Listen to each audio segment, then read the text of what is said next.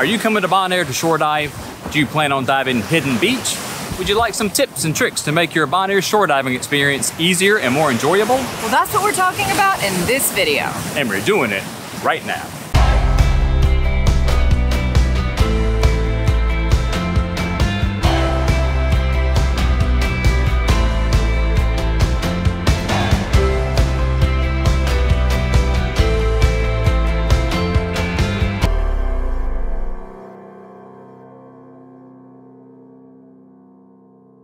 Hey folks, Liz and Kevin here at the dive site Hidden Beach on the southern coast in Bonaire. This is an unmarked site and you're just gonna love it. And we're gonna tell you all about it in this, which is another in our series of videos about the different shore dive sites here on Bonaire.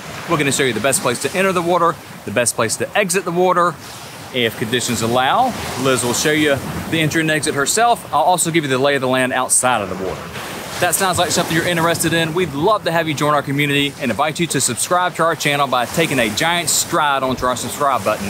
Then make sure you hit the notification bell so you'll be made aware when we have new content for you to enjoy.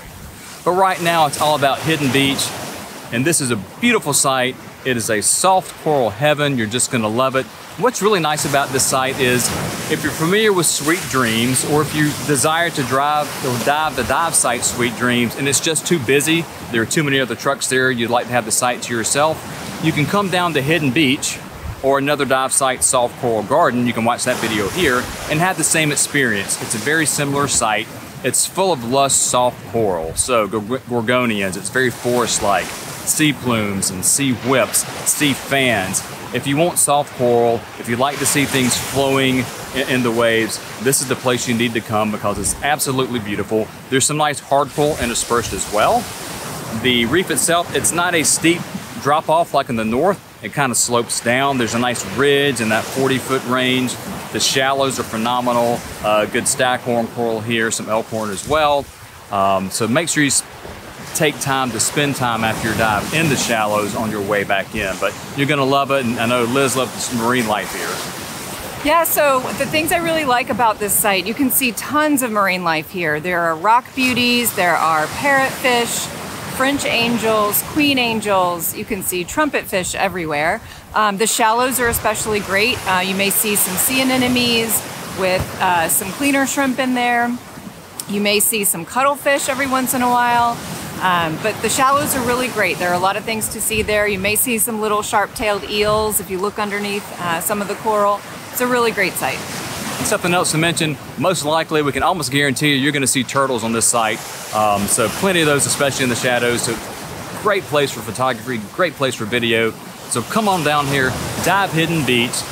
Right now though, we're gonna show you the lay of the land outside of the water. Okay folks, let's take a look at the lay of the land here at Hidden Beach. As you can see, there's plenty of space to park, so parking will not be an issue for you. Uh, when you come down in, we've got a video on where to park. Uh, you can either park between these two bushes or right here. You've got plenty of space, so parking is not an issue. So let's walk up and take a look at that entry. Okay, folks, you will need your walking stick here. You can see you got coral rubble. There's a big step down to get into the water.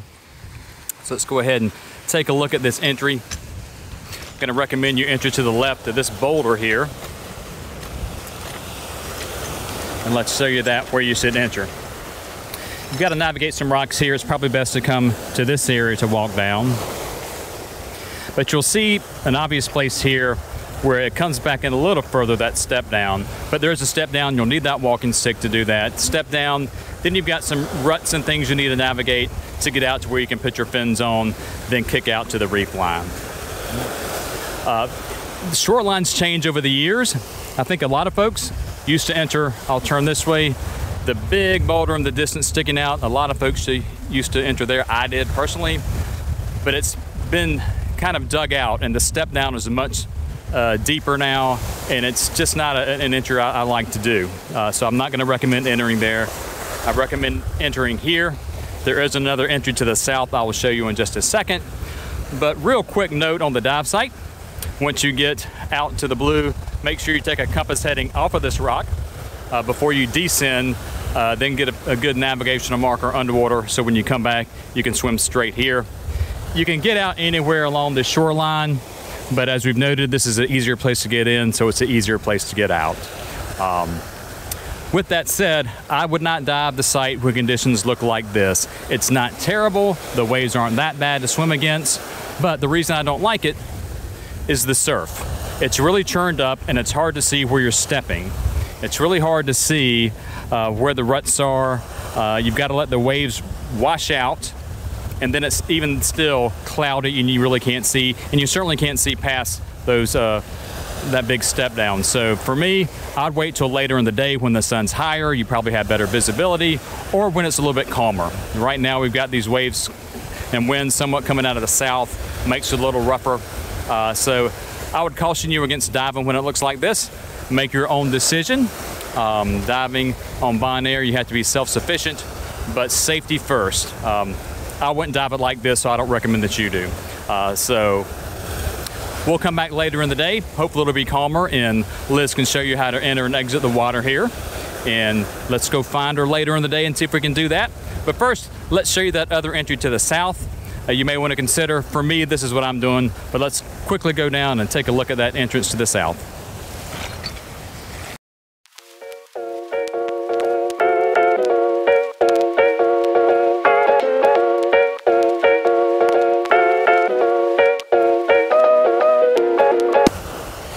Took me a second to find it because I, I never use it anymore. But here's an alternate site for you here.